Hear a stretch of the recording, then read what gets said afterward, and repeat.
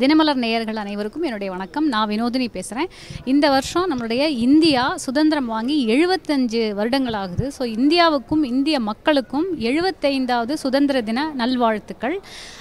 இன்னைக்கு மட்டும் இல்லாமல் என்றைக்கும் நம்மளுடைய நாடு வந்து ஒரு பல பிரச்சனைகள் இருக்கலாம். நம்ம ஆனால் இந்தியா அப்படிங்கிற ஒரு இடத்துல வந்து நம்ம எல்லாருமே வந்து ஒன்றாயிடுறோம் யூனிட்டி அண்ட் டைவர்சிட்டி அப்படிங்கிறது என்றைக்கும் இல்லாமல் இன்னைக்கு ரொம்ப ரொம்ப அவசியமான ஒரு விஷயமா இருக்குது இன்றைக்கி இருக்கக்கூடிய டிவைசிவ் பாலிட்டிக்ஸில் மத்தியில் அப்படிலாம் இல்லாமல் நம்ம எல்லாருமே வந்து நம்ம எக்கானமி முன்னேறி இப்போ இருக்கிற செழுமையை விட இன்னும் பிரமாதமான ஒரு செழுமைக்கு நம்ம வரணும். நம்ம வந்து ஒரு வல்லரசு நாடாக இப்போவே இருக்கோம். அடுத்த கட்டத்துக்கு நம்ம வந்து போனோம் அப்படிங்கிறது தான் என்னுடைய சின்சியரான ஒரு குடிமக குடிமகளாக என்னுடைய ரிக்வெஸ்ட் தேங்க்யூ